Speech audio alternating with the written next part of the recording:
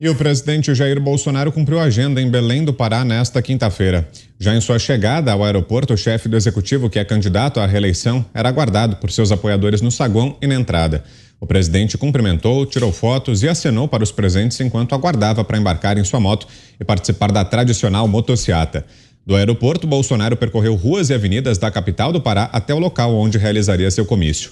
A motociata organizada por seus apoiadores chegou a impressionar moradores que divulgaram nas redes sociais o tamanho do evento. Acompanhe.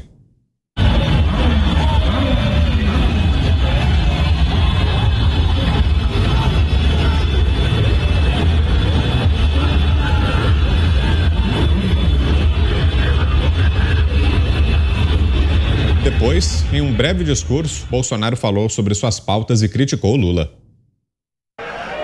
Defendemos a vida desde a sua concepção. Fiquem tranquilos. O Lula continuará no lixo da história.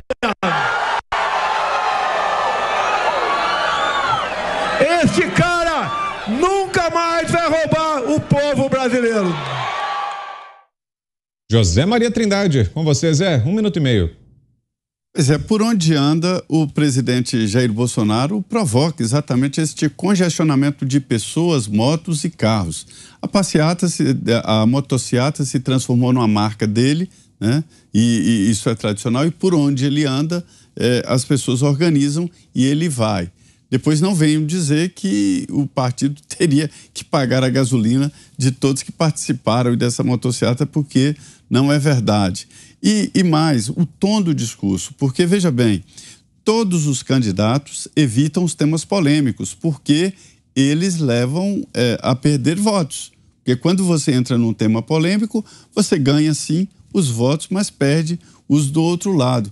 E o presidente Jair Bolsonaro vai e fala exatamente do que defende.